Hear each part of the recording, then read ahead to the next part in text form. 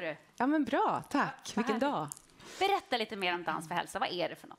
Ja, men det är en insats som ska komplettera elevhälsan i arbetet med att stärka psykisk hälsa hos ungdomar. För det kan vara så, om man har olika typer av stressrelaterade besvär som återkommande ont i magen eller nedstämdhet eller känslor av oro, så kanske man inte alltid alltid är i behov av behandling i barn och ungdomspsykiatrin. Men man behöver lite mer stöd än vad elevhälsan kan erbjuda. Och det är där vi vill komma in med dansen. Vi vill liksom fylla det glappet med regelbunden fysisk aktivitet som är så trygg som man törs gå dit, men också så kul som man vill vara kvar. Men det som är extra spännande också är ju att det här är en forskningsbaserad metod. Ja, och det är som Anders sa, det behövs alltid mera forskning.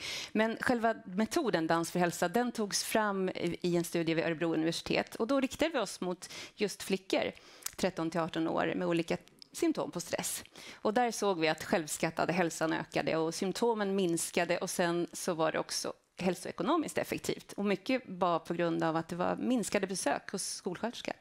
Hur ser ert arbete ut då, rent konkret?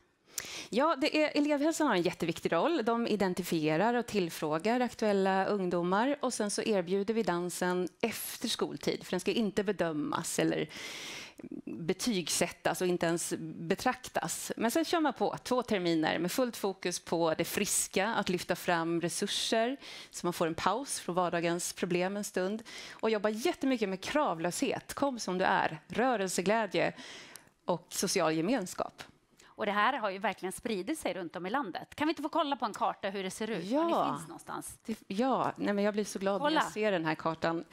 Eh, för, ja. Nej, men, ja. Vilken grej! Så är det. Ja, men det är jättekul för att det är, ja, men ju fler som jobbar med metoden, ju fler ungdomar får ta del av den här typen av rörelse. Så att vi har fin geografisk spridning också i glesbygd och stora städer och olika typer av organisationer. Kanske är det oftast kommuner då som är initiativtagare. Men vet du vad som är härligt också tycker jag? Det är att ni vänder er till den målgrupp som vi oftast tappar bort. Tonårstjejerna försvinner ju liksom från den fysiska aktiviteten när de kommer upp i, i en eh, viss ålder och är inte så himla lätta att få tillbaka. Mm. Men, men eh, vad får du för reaktioner från början?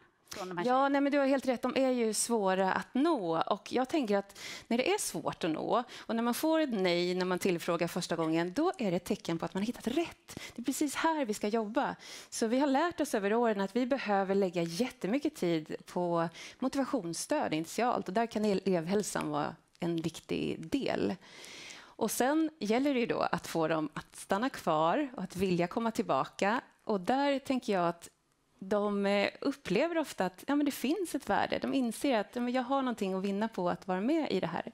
Och här tänkte jag bara passa på att landa i deras egna röster. Så jag har tagit med mig tre citat här som jag jättegärna vill, vill lyfta. Och det första är en av de största förändringarna har varit att jag känner mig mer bekväm i min kropp och att dansa. Jag vågar ta plats på ett annat sätt än tidigare. Och Det tycker jag är så intressant. För den här självtilliten som hon pratar om, den är ju kroppsbaserad. Hon känner sig hemma i sin kropp och jag tycker att det är allt för många unga idag som distanserar sig från sina kroppar. Och det är, det är samma sak i andra citatet här som eh, handlar om jag har blivit mycket mer självsäker tack vare dansen. Den får mig att bli stark på insidan. Och där tänker jag att det är så fint att den styrkan, den har hon med sig även utanför danssalen. Det spiller över på andra situationer i livet. Och sen det sista då, jag bara passar på här. Ja, det är klart.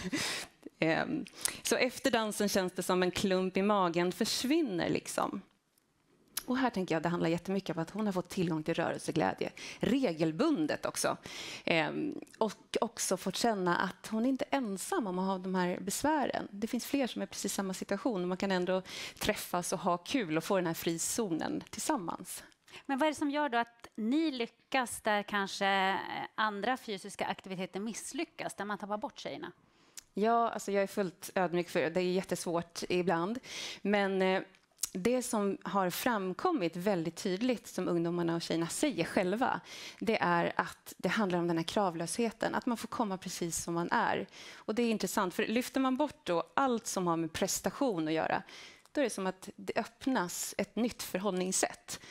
Och för många är det nyckeln för att orka och våga komma dit just det här som du ser, de här positiva effekterna, det måste ju vara otroligt peppande i det jobbet som du faktiskt... Ja, det är helt gör. fantastiskt. Vilken grej. Tack för ditt arbete. Anna Duberg, en varm applåd.